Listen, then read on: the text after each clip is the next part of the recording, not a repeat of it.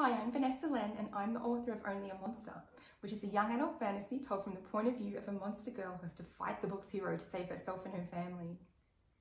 Only a Monster subverts some of the tropes of YA fantasy and it invites the reader to explore and critique how narratives create heroes and monsters. At the beginning of the book, my main character Joan is having the perfect summer. She's a bit of a nerd, so she's volunteering at a museum, and her co-worker Nick has just asked her out on a date. But after that, everything goes wrong. First, Joan learns that her family aren't just the eccentrics she always thought they were, they're monsters. And Nick isn't just some guy she's crushing on, he's a legendary monster slayer, a hero. And in a tragic twist, he kills Joan's family on the same night she learns she's a monster. After that, they're pitted against each other. For me, the premise of Only a Monster was inspired by that feeling when the hero of the story isn't the hero of your story. My original inspiration came from my own experiences of growing up, loving big blockbuster movies and TV shows. But in them, I rarely saw people who looked and sounded like me, people of the Asian diaspora. I didn't often see myself represented in the heroes, but I did sometimes see myself represented in the bad guys. I noticed that these nameless Asian characters would sometimes show up just for the fight scenes.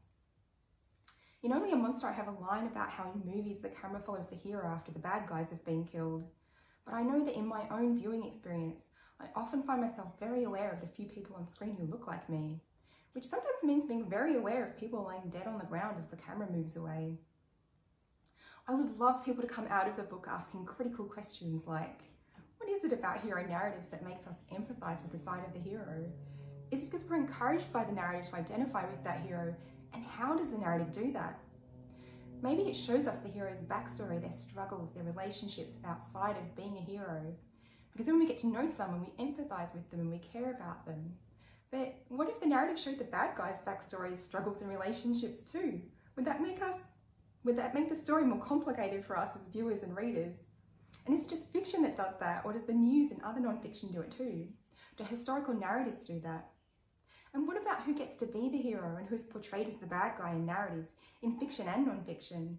What are the implications of that?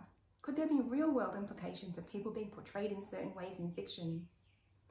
Thank you for watching this video. I'm really excited about Only a Monster, and I hope you find it an interesting addition to your classroom or library, and a fun avenue of conversation.